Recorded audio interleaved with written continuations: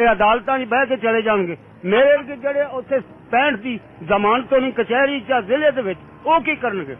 ਤੇ ਲੋਕ ਮੰਗ ਕੇ ਆਪਣਾ ਖੌਰੇ ਕਿਵੇਂ ਲਿਆਉਂਦੇ ਨੇ ਰੋਟੀ ਖਾਣ ਵਾਸਤੇ? ਕੀ ਕਰਦੇ ਨੇ? ਜੋ ਵੇਖੋ, ਹਜ਼ਾਰਾਂ ਬੰਦਾ ਸੜਕ ਤੇ ਬੈਠਾ, ਜਿਹੜਾ ਆਂਦਾ, ਮੇਰੇ ਘਰ ਆਟਾ ਹੀ ਨਹੀਂਗਾ ਮੇਰੀ ਸਬਜ਼ੀ ਨਹੀਂ ਹੈਗੀ, ਦਾਲ ਨਹੀਂ ਹੈਗੀ, ਕੋਈ ਤੇ ਹਯਾ ਕਰਨੇ, ਅਸੀਂ ਇਹਨਾਂ ਨੂੰ ਵੋਟ ਦੇ ਕੇ ਤਾਂ ਵਾਸਤੇ ਕਰਨੇ ਆ ਅਸੈਂਬਲੀਆਂ ਦੇ ਵਿੱਚ ਕਿ ਲੋਕਾਂ ਦਾ ਖੂਨ ਪੀਣ।